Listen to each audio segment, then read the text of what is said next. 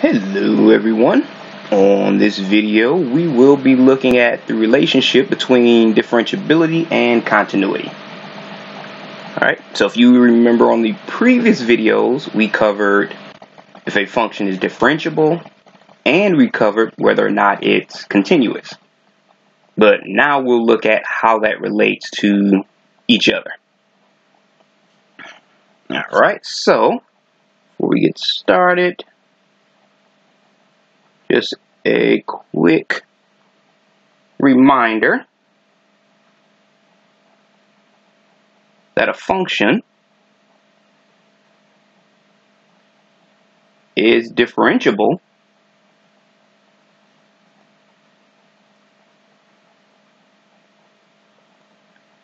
at x equals a if the limit of f of x minus f of a all over x minus a as x approaches a equals f prime of a exists.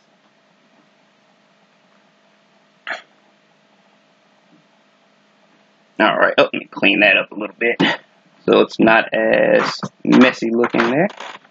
Alright, f prime of a.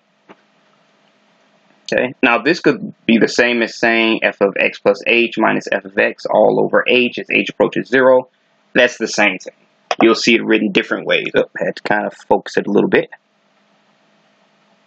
Alright, so this is going to lead us right into our theorem.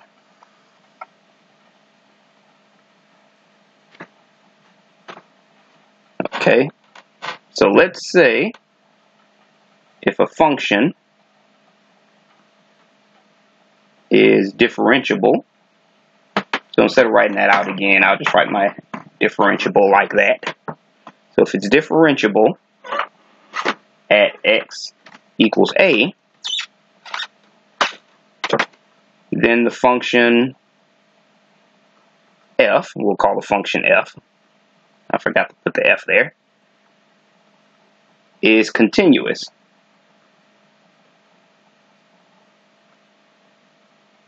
At x equals a. So just kind of put the f right there. Alright, so all we have to do now is prove that that's true. Okay, so our proof.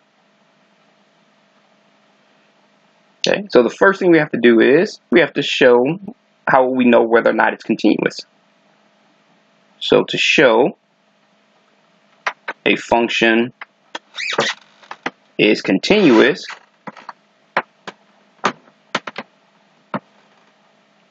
at x equals a. Uh oh We have to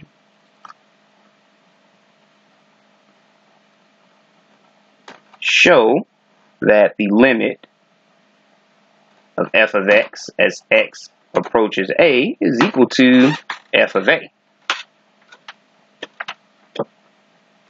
Alright, so we do that by first looking at what's given to us. It's given to us that the function is differentiable.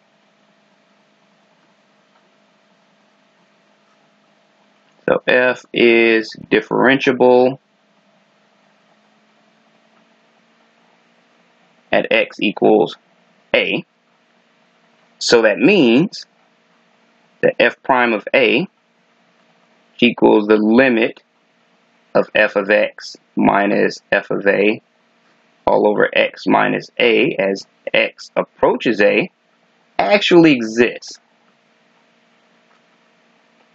Okay, doesn't tell us anything else about it, doesn't tell us what the limit is, it just tells us that it actually exists.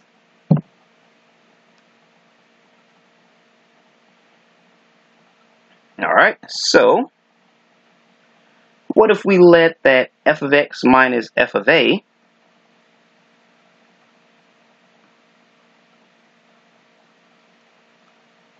equals f of x minus f of a all over x minus a times x minus a.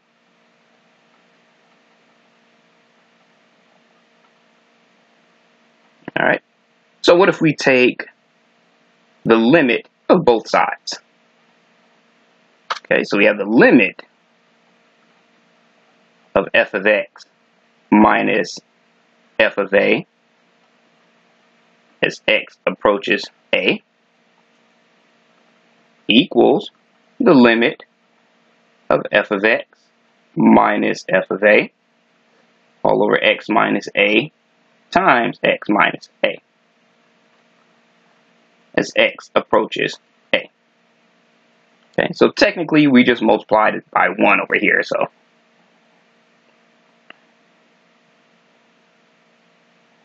Alright, so if we remember the limit properties or the limit laws, we can see that we can distribute this limit to both of those factors.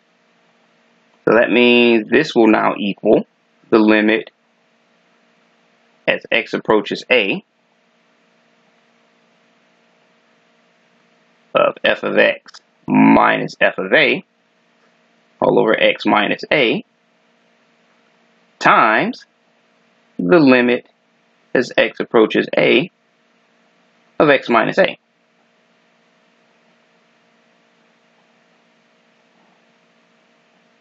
Alright, so we see already that this, remember, that's equal to your derivative f prime of a.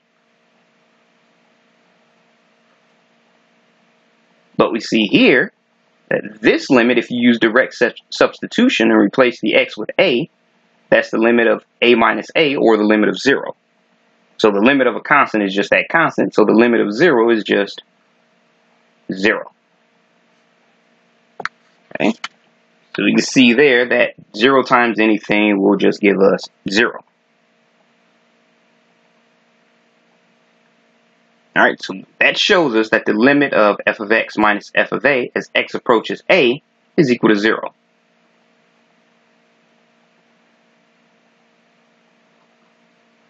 Limit, eh, don't really need the parentheses there.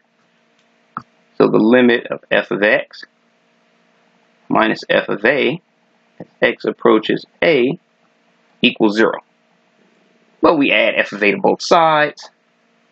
We see that the limit as x approaches a of f of x is equal to f of a. Okay, which shows us that it is continuous at x equals a. Okay, so if it's differentiable at x equals a, it is now known that it is continuous at x equals a. Okay. So, since the limit exists at x equals a, we know it is also continuous.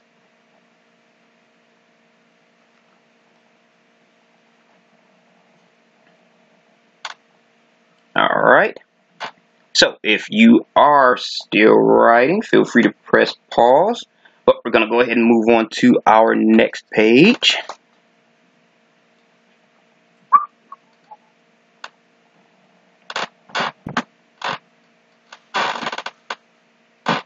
Alright. Now, we know that if the function is differentiable, it's continuous, but what about if we flip that around? Can we assume that if a function is continuous that it's also differentiable? Actually, the answer is no, you cannot flip that around. Okay. The reverse is not always true. So in other words, there are functions that are continuous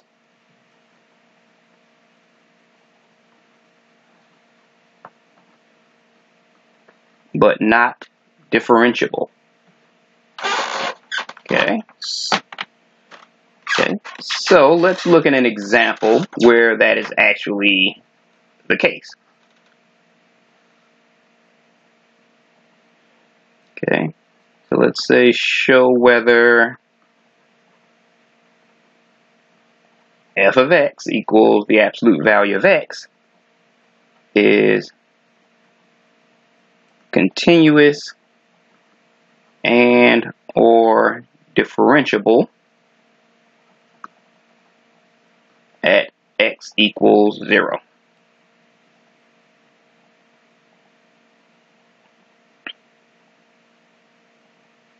All right. So just to start off, we're going to look at a graph of our function. So draw our x and y axis. Where x, we have our y, and our absolute value of x looks kind of, sort of, somewhat like that. f of x equals the absolute value of x.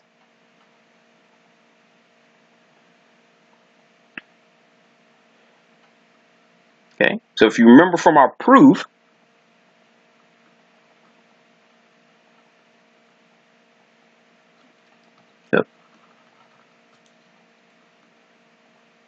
continuous, in order for it to be continuous, it just means that the limit of f of x as x approaches a equals f of a. Then we know that it's continuous at whatever a happens to be. Alright. So, I have a little side note there in a second.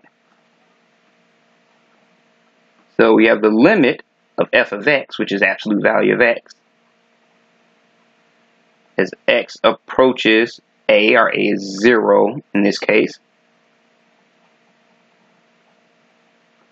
equals, if you use direct substitution, that's just the absolute value of 0. Now for our little note here, we know that f of x equals absolute value of x. So that means f of 0 equals the absolute value of 0. So our absolute value of 0 is f of 0.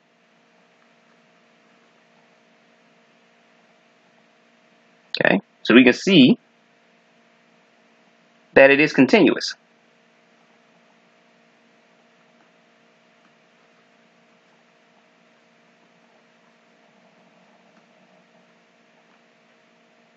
Okay, Now we have to check and see if it's differentiable. Okay, so to show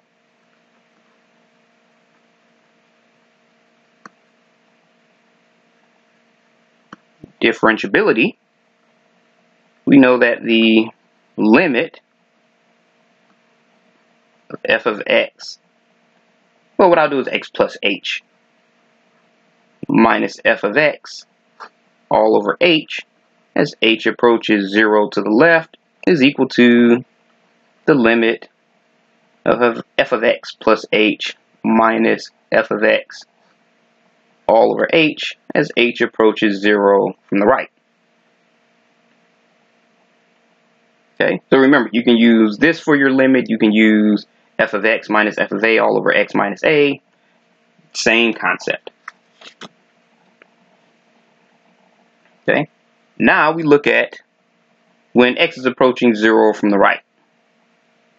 I'm just starting with that one because it's a little easier to understand. Approaching it from the left can get a little bit tricky, so we're starting with the right. Okay, so let's say when x is greater than 0. Okay, so when x is a positive number, the absolute value of x is equal to x. So if you have the absolute value of 3, it's equal to 3. The absolute value of 7 is equal to 7. The absolute value of 31 is equal to 31. As long as it's positive, it's just going to equal x. And that lets me know that the absolute value of x plus h is also 0. Of course, that's when it's close to 0.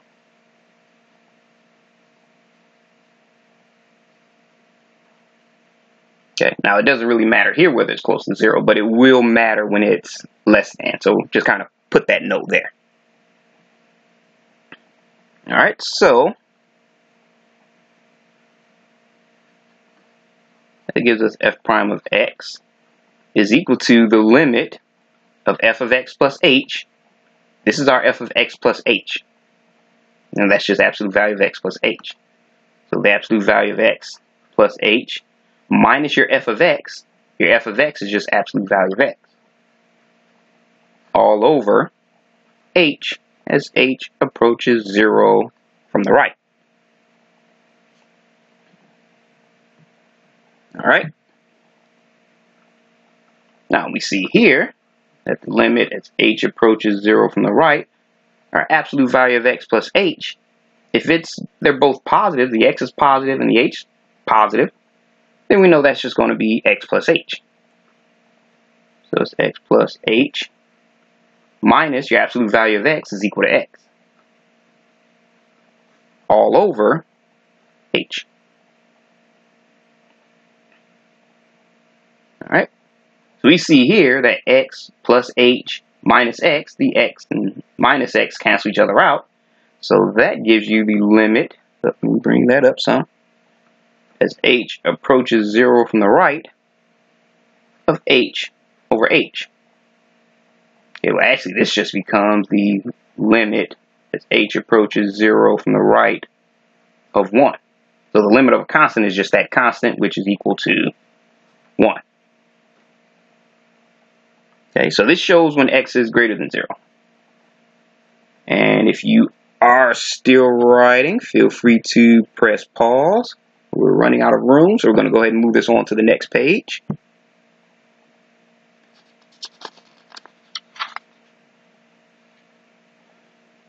Alright, bring this down.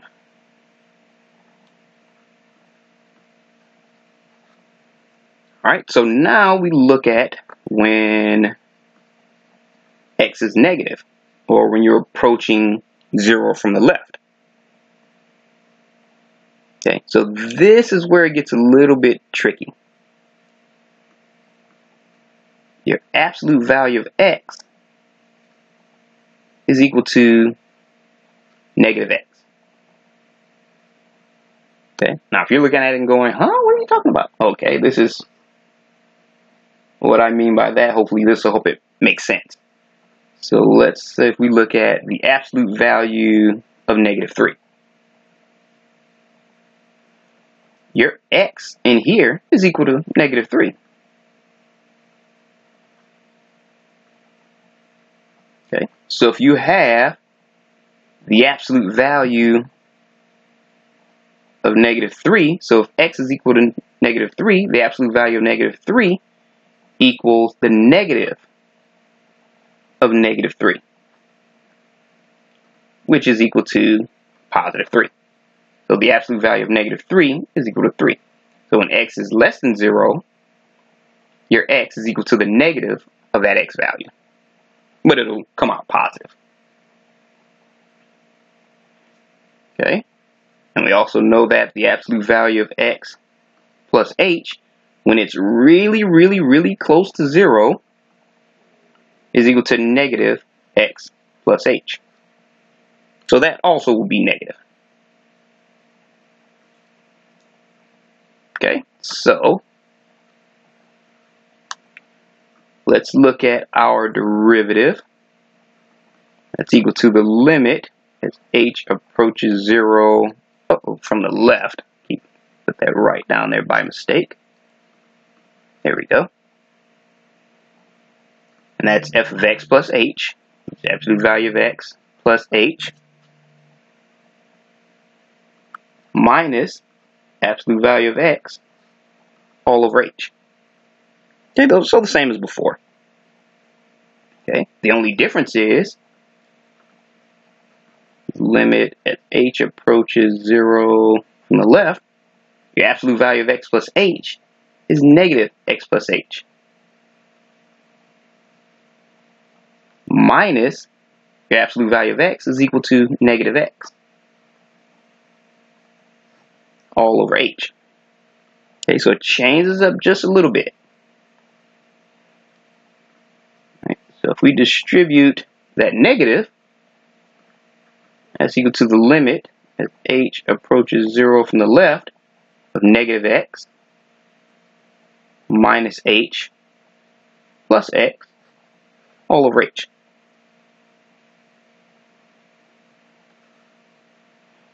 Alright, so that's equal to the limit as h approaches 0 from the left. These two will cancel out. So you have negative h over h. Or just the limit as h approaches 0 from the left. That becomes just negative 1.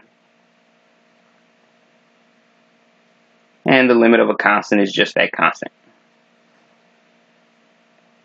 Okay. So if you look back on the previous page, I'm going to cover this up for a second.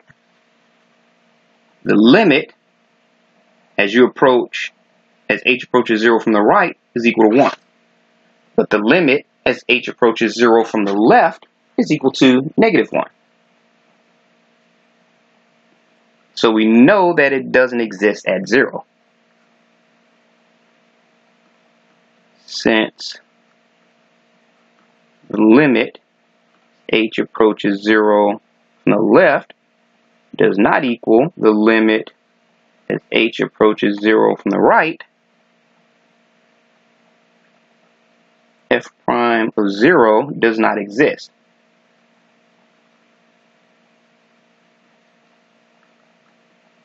So, move that up some. That tells us that f of x equals absolute value of x is not differentiable at x equals 0. Okay. Now, that doesn't mean it's not differentiable at other points. It just means it's not differentiable at that particular point. Okay, so quick note.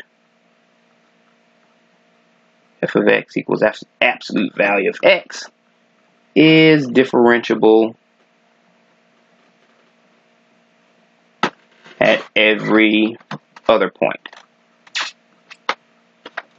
It's just at zero when you run into this little snag.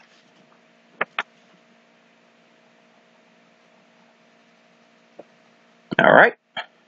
So if you are still writing, feel free to press pause. But we're going to go ahead and move on to the next page.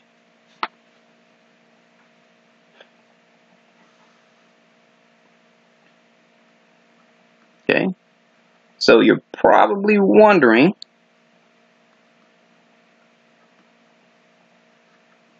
how a function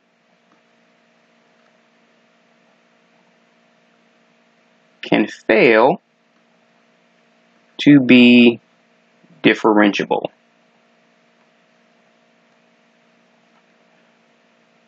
Okay.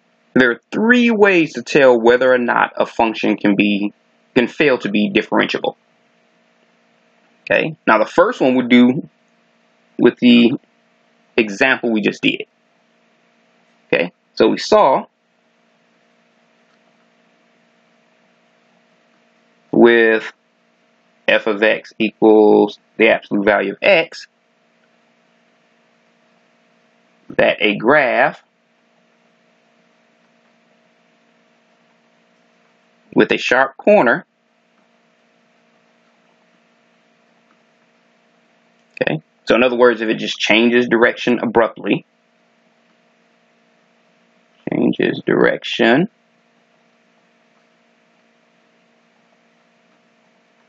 abruptly, uh -oh, does not have a tangent at that point. does not have a tangent at that point and is not differentiable.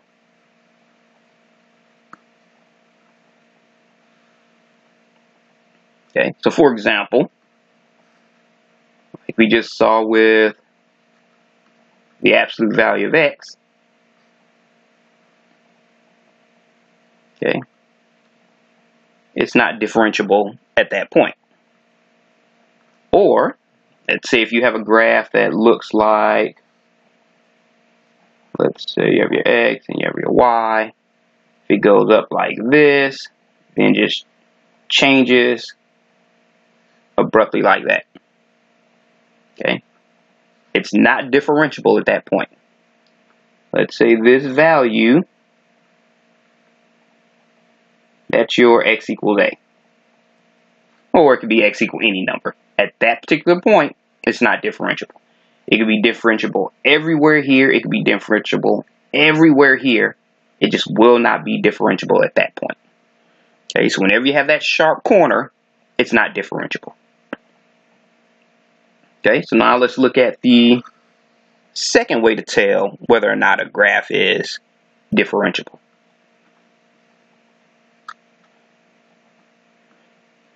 Okay, so if a function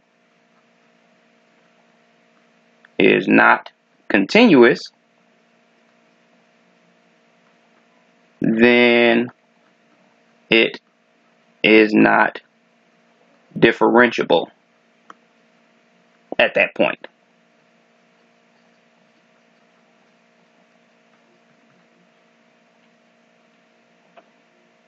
Okay, so we're going to go ahead and do a quick proof of that one using what they call proof by contraposition. Okay, so using proof by contraposition. And that states that if A is true, then B is true. What that really means, or not really means, but it can also mean if B is not true, then A is not true.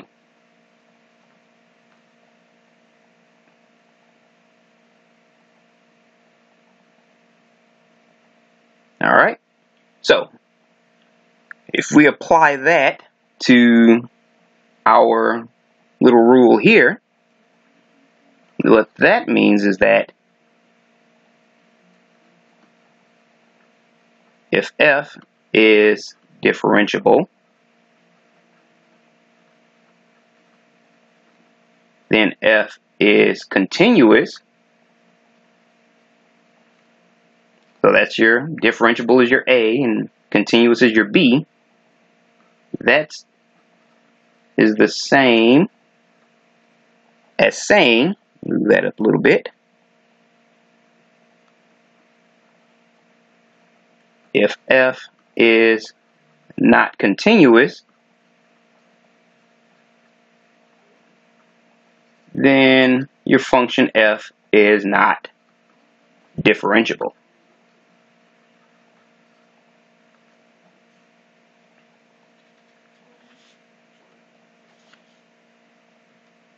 All right, so running out of room. So if you are still writing, feel free to press pause. But we're going to go ahead and finish this up on the next page.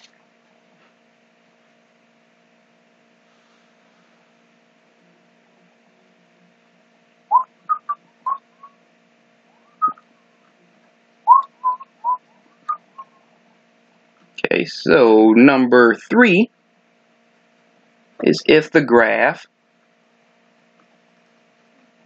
has a vertical tangent.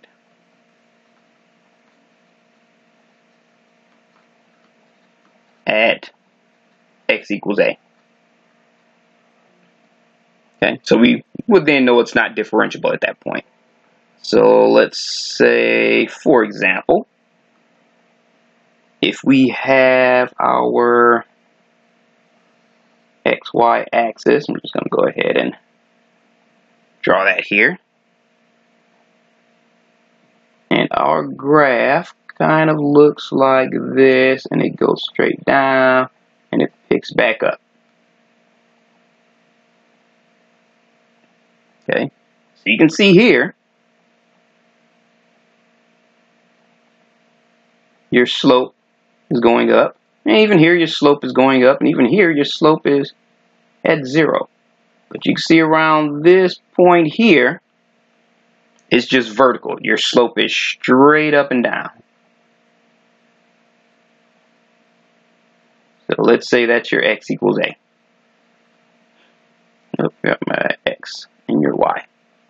Okay, so whenever you have a perfectly vertical tangent, we know that it's not differentiable at that point.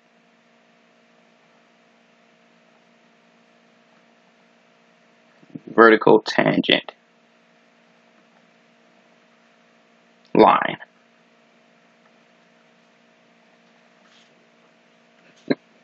Excuse me.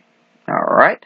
So if you are still writing, feel free to press pause And actually, this is one of the rare instances where you can actually put your pencil down because I'm going to show you quite a few, I guess you could say, problems where you'd have to figure out where it's continuous and everything else, where it's differentiable.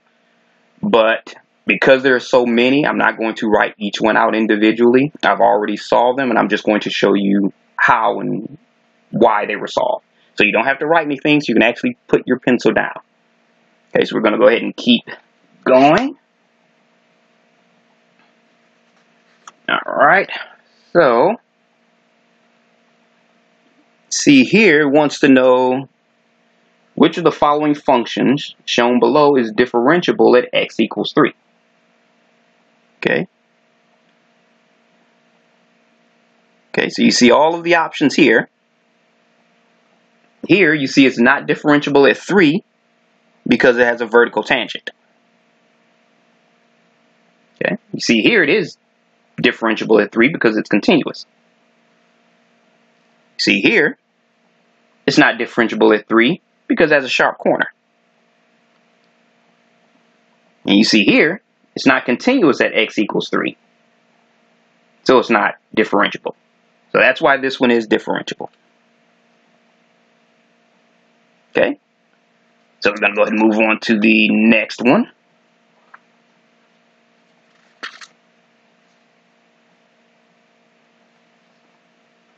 Okay.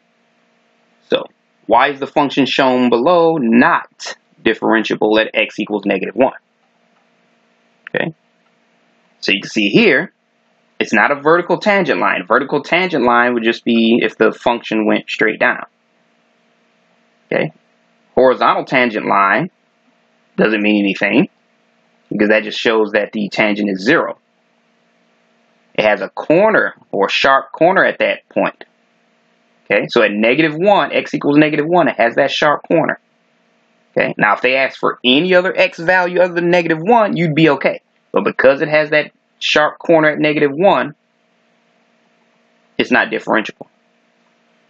Being smooth at the point wouldn't make a difference because if it's smooth, that's what you want. You want it to be smooth and continuous and differentiable. Okay, it's not, it's continuous, so you can't say it's not continuous because it's not an open circle there. The circle is actually closed, so it is continuous.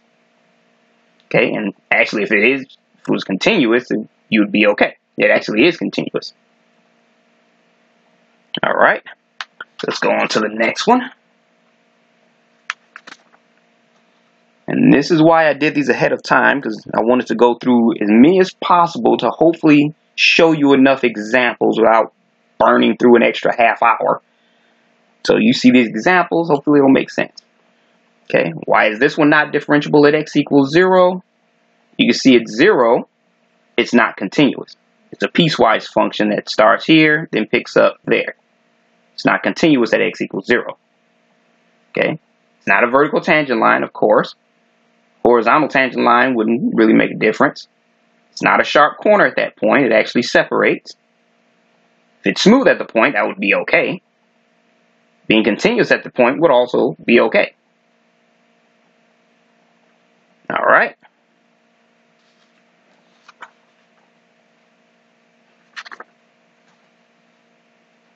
All right, so now let's look at what do derivatives tell us about the function? Okay. we know that they tell us what an instantaneous rate of change of a function is at a specific point. If the first derivative is large, then the function changes fast. If the derivative is small, then it changes slowly. But what does the sign tell you? Okay, let's look at this graph. Okay, well, this one, I'll try to get as much of this in here as possible. We see here that our function is decreasing at point A. Okay, at point A, our graph is from left to right, our graph is going down. So we know that it's decreasing. So we know our derivative at point A is negative. We see at point B that it's a horizontal slope. It's going from left. It doesn't go up. It doesn't go down. It's just a flat point. Okay, so we know that f prime of b is equal to 0. Okay, and we see that at point C that our slope is going up. Okay, so we know that f prime of C is positive. Okay, so if you remember just from your basic graphing, if you have an upward slope, or if it's going up and to the right, it's positive. If it's going down and to the right, it's negative. And if your slope is just going straight across, it's a zero slope. Okay, so here you have your downward slope, your zero slope, and your upward slope. Okay, so if it's positive, your f prime of a is positive, well, or your f prime of x. f prime of x is 0. Alright, so let's look at the next one.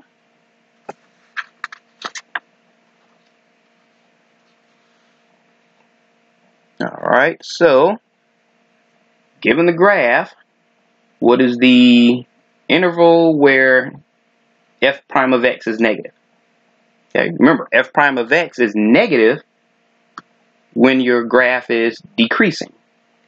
Okay, so as x gets bigger, your graph is decreasing. So actually, your f prime of x is negative from 0 to infinity. So x equals 0, and it keeps getting bigger and bigger, that's going to just keep staying negative. All right, so let's look at the next one.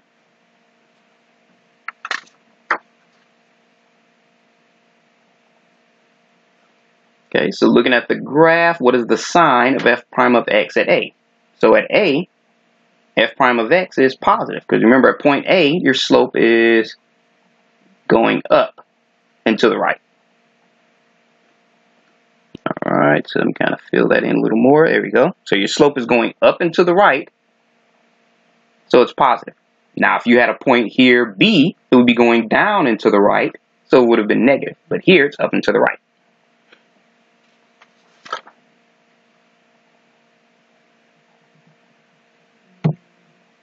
All right, let's look at the next one. Okay, so if you have your function, over what interval is it positive? Okay, so if you notice here, this is f of x equals x to the third power. It goes up and to the right throughout the whole thing. Okay, so this one, it actually has a positive derivative on the entire interval. So from negative infinity to infinity.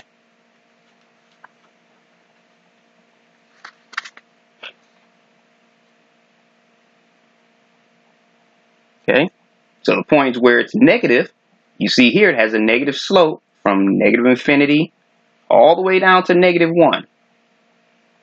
Okay, so we're looking at where it's negative. You see it's positive between negative 1 and 2.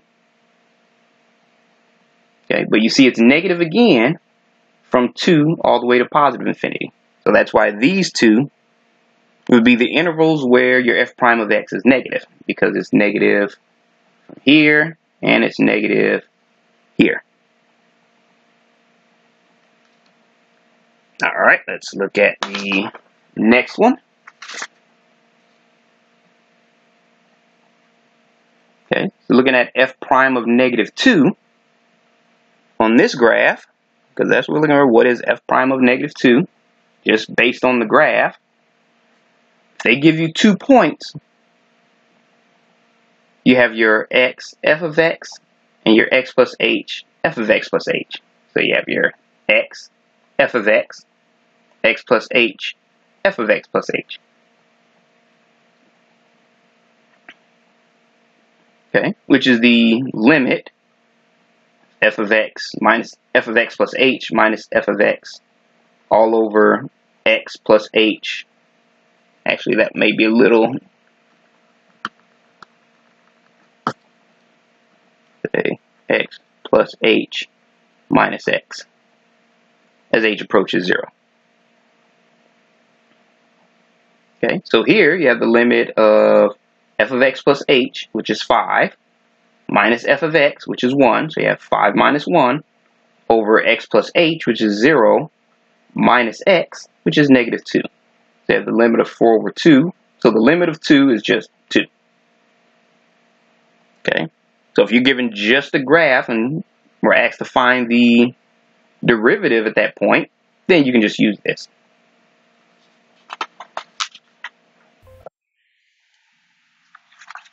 All right, so just a couple more. Just want to make sure everything is understood.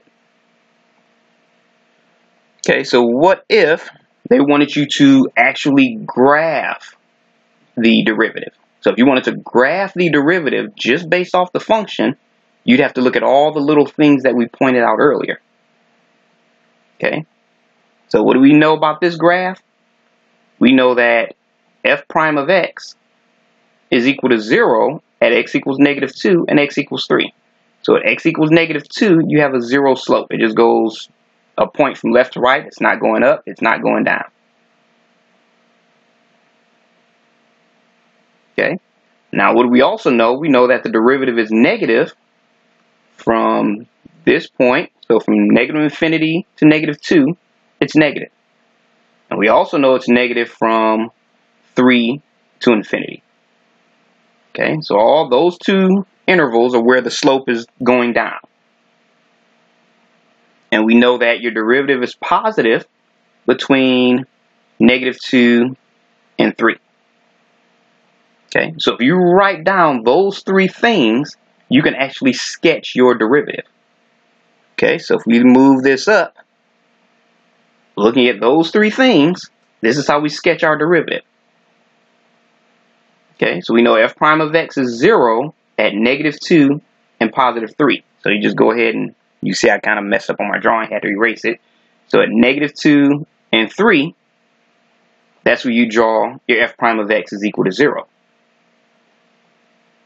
Okay, so now f prime of x is negative from negative infinity to negative 2. So we'd see that it's below 0 from negative infinity to negative 2.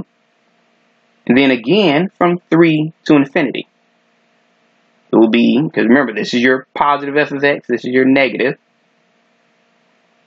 And we see that it's positive from x equals negative 2 to x equals 3. So it would be above the x-axis between those two points. And we'll see it be below the x-axis for those two intervals. And it will be right on the x-axis when it's equal to 0. So between the interval between negative 2 and 3, it's positive. So our f prime of x will look something like this. Okay, this is probably kind of the trickier one, so it'll take a little bit of practice.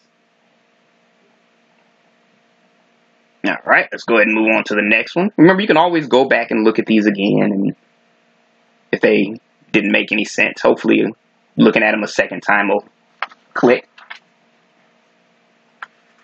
All right, so next one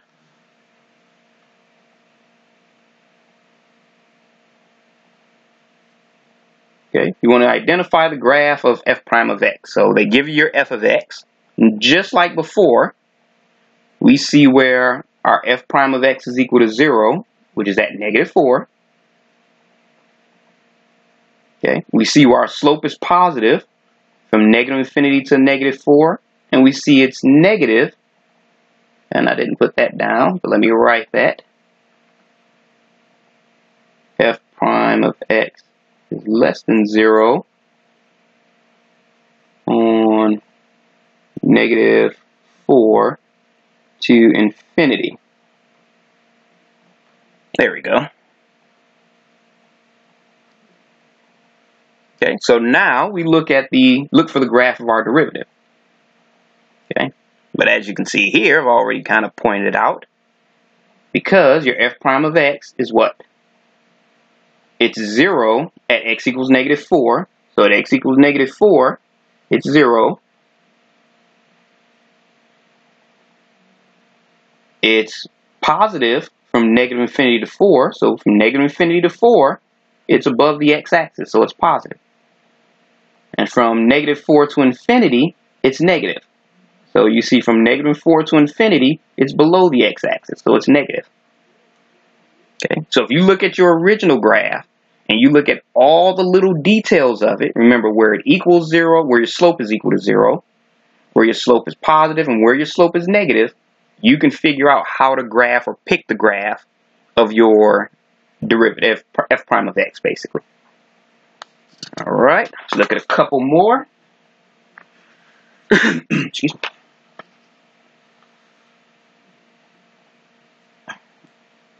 All right. So again, let's see the graph of f prime of x. Okay, we see f prime of x equals 0 at x equals negative 3 and x equals 1. And forgot to put that down again. f prime of x is less than 0 from negative 3 to negative 1. Or negative 3 to 1. There we go. Okay, so now, since we know this is our f of x, and we know all the little details about it, where it equals 0, f prime of x equals 0 here and here. We know it's positive on this interval and this interval, which is negative infinity to negative 3 and 1 to infinity.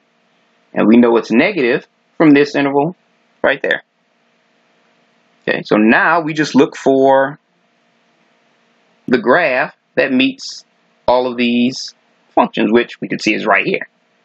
We can see that it's equal to 0 at negative 3 and 1. So we have negative 3 and 1. It's on the x-axis. We can see it's above the x-axis from negative infinity to negative 3 and from 1 to infinity. It would see is below the x-axis between negative 3 and 1. All right, so let's do one more.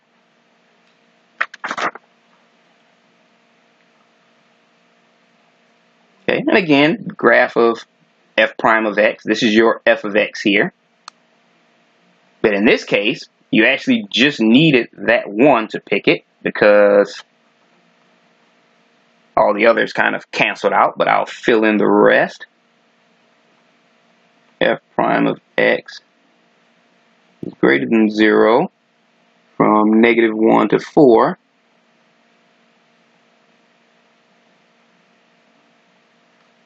And f prime of x is less than 0. You have from negative infinity to negative 1. And you have from 4 to infinity.